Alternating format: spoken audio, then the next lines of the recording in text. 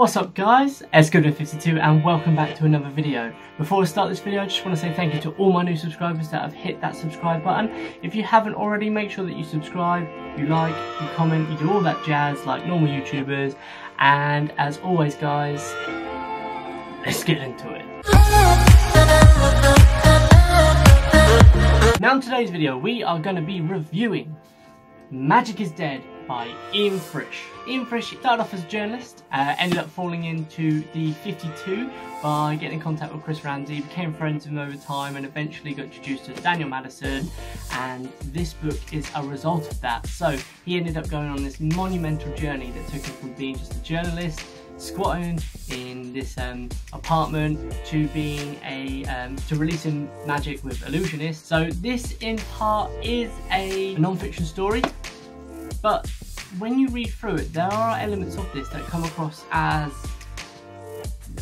pseudo magic theory. There's also a little bit of tutorial in there. He details some tricks that you can actually use and almost doesn't expose the method but gives you a pattern for you to follow so that you too could also replicate that trick in certain.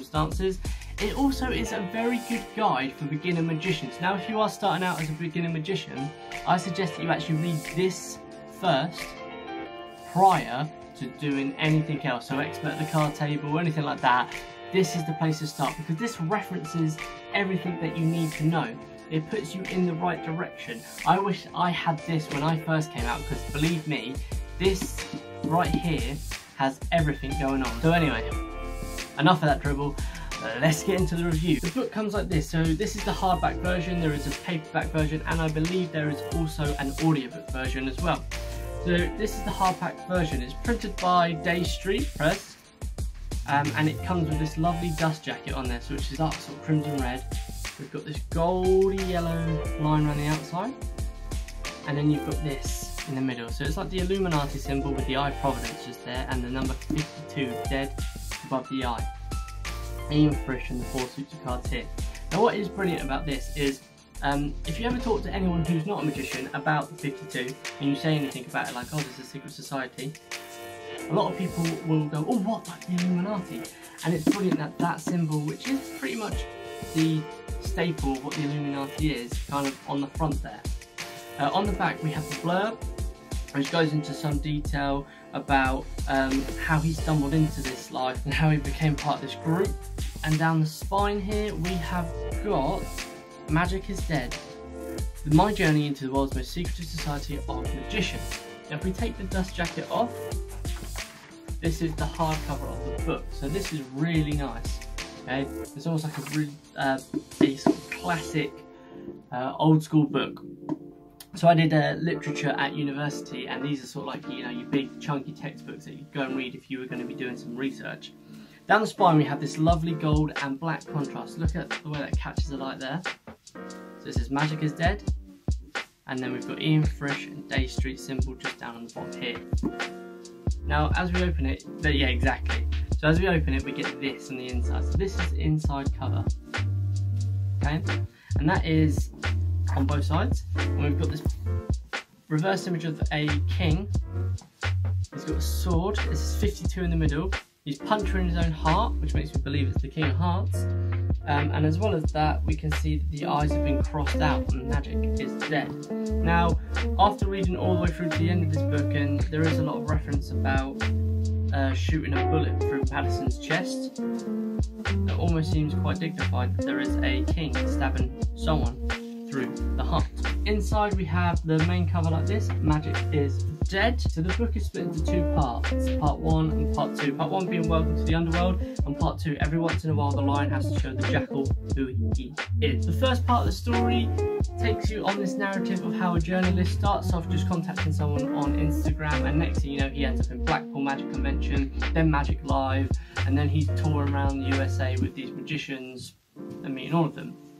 As it moves into the second part of the deck, of the deck. Yeah, so the second part of this tech takes you from when he's been inducted into the 52 and then as he goes through the motions of creating his own trick, the fulfilling of the 52 and then ultimately one of its members demise essentially. If any of you do follow Daniel Madison, you will know about all of his past and the of Clubs and his alliance and everything like that. So that's something that uh, that's just Ian saying I can use some pictures in his book. You will know all about the past history in that, and if anyone was at any of the Daniel Madison meetups, they will know that it was something that he, he had to put behind him and move forward, which is detailed in the book. So one of the cool things that is in this book is that at the top of every chapter we have these hands. Now, any of you that do uh, are you know keen-eyed, they might notice that these are Daniel Madison's hands um, due to the tattoos on there, and one of them does have the nine of clubs down the side, which we know he's got and subsequently had crossed out. Ian Frisch does put in the acknowledgement that Chris Ramsay is one of the his biggest acknowledgements in there because um, he got him into this world. Daniel Madison has a very big influence in him, and as you follow the story through, there is a lot of checking in with Madison. Um, almost like a like an older brother thing sort of. It almost feels like that as he's always checking. In. I haven't heard of him for a while. He's always checking in on him, and he does reference quite a lot of Daniel Madison stuff in the book. In fact, the book's title does come from a Daniel Madison original work. He'd sent Ian Frisch a book um, after they first met. Magic is Dead. A 52 page manifesto, each page a short de declarative statement, almost like poetry. And page 52, the last page of that book, is titled Magic is Dead. What I will say is this book definitely is something that you should pick up and read. One, because it is the first detail into the 52 that we have ever had, and there are small bits in there that you, as a reader myself, I sat back and was like, oh, that's amazing. Or that it, it points to something that has happened in terms of something you may have watched on YouTube. So for example, Ian starts talking about some of the Magic Live stuff, some of the Blackpool Convention stuff, and also just some of Chris Ramsay's videos that he's been in, and the YouTube uh, summit that they did in LA. They talk about that, and he talks about those things happening. He talks about you know, everyone that you follow on Instagram and YouTube, like Alex Pandrea, Xavier Spade, Orbit Brown, uh, Franco Pascali, who used to be an entry, you've got Doug McKenzie, every every pop body who is somebody in Magic in terms of the new generation is in this textbook. And I use textbook because yes, it is a novel, but at the same time, half of this book details so much amazing magical moments in there that you can, like Daniel Madison does, reconstruct the trick and apply it for yourself. And I did do one of the tricks from here on my partner after reading about it.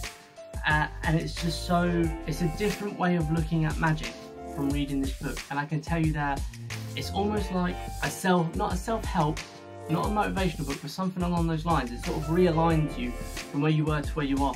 that kind of makes any sense to anyone, drop a comment down below and let me know.